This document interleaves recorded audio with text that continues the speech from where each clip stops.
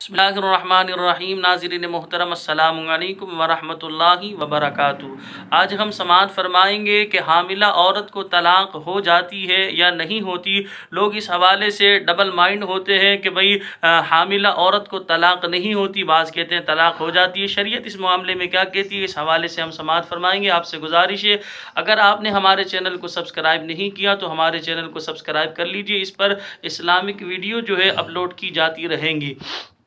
तो याद रहे कुरान मजीद बुरहान रशीद में अल्लाह तबारक व ताली ने इरशाद फरमाया उलातुलहमारी अजलहन हमलहन।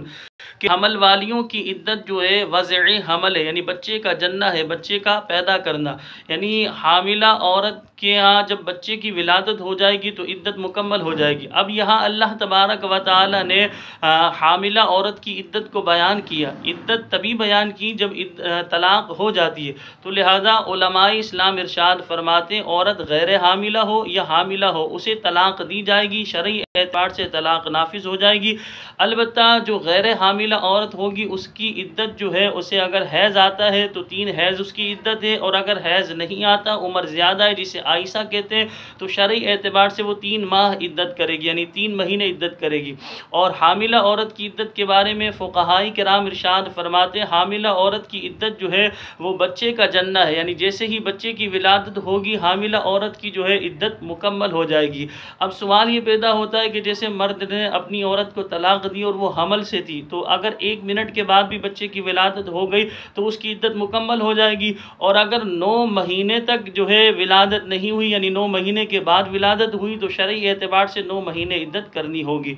तो आसान लफ्ज़ों में, उर्फ़ आम में ये बात मशहूर है कि हामिला औरत को तलाक नहीं होती यह आवाम में गलत बात मशहूर है। फ़ुकाहाई कराम ने इरशाद फरमाया कि हामिला औरत को तलाक हो जाती है, और हामिला औरत की इद्दत जो है वो बच्चे का जन्ना है, यानी बच्चे की जैसे ही पैदाइश होगी, बच्चे की जैसे ही विलादत होगी, औरत की इद्दत मुकम्मल हो जाएगी। अल्लाह तबारक व ताली से दुआ है कि अल्लाह तबारक व ताली हमें दीन मतीन की समझ अता फ़रमाए और दीन मतीन के अहकाम के मुताबिक ही ज़िंदगी गुजारने की तोफ़ी अता फ़रमाए। ऐसे फजूल लोगों से, मसाइल पूछने से गुरेज कीजिए। लोग पान वाले से, चाय वाले से मसले मालूम कर रहे होते हैं। उन्हें क्या पता इस हवाले से क्या दीन क्या कहता है, शरीयत क्या कहती है, अल्लाह और उसके रसूल ने क्या बयान किया उन्हें क्या पता इस हवाले से?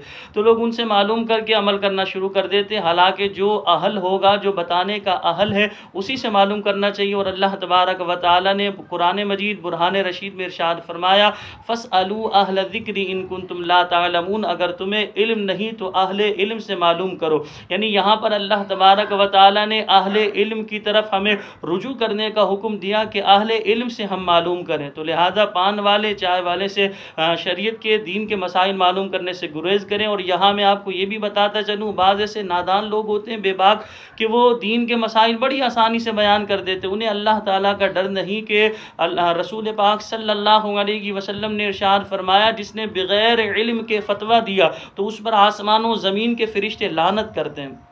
तो लिहाजा इंसान को डरना चाहिए अल्लाह तबारक व ताली से। जब इल्म नहीं है, आपका नॉलेज नहीं, आपको दीन के बारे में नहीं पता तो आप क्यों बयान कर रहे तो लिहाजा बाज़ लोग ऐसे बेबाक होते हैं, वो डरते नहीं, वो बयान कर देते हैं कि यार हमारा क्या जा रहा है, कौन से पैसे लग रहे हैं?